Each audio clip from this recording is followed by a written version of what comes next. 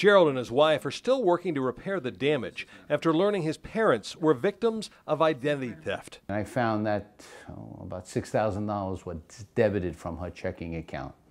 And uh, naturally, I questioned them, and they had uh, they weren't aware of it or how it happened. Turns out the home health aide hired to help the couple was actually stealing from them. They had a trusting relationship. My father was crazy about him. Everything was going swell until, he, until they got swindled. The fraud was revealed after Gerald's mother called him, confused about withdrawals from her account. He quickly realized what was going on after looking at the couple's checkbook. Some checks were manipulated for different figures.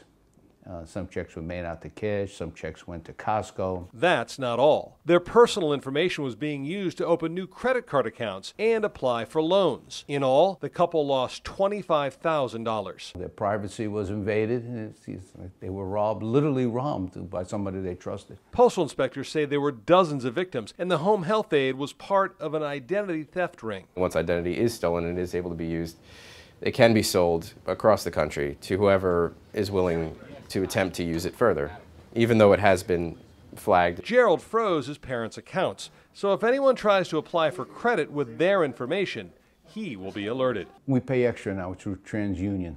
Their names, their social security number, I get a monthly report on any and all activity. They were able to shut most of it down, but a lot did go through, and they're still, to this day, many months later, still receiving notifications from the credit bureaus of, of new attempts on new accounts.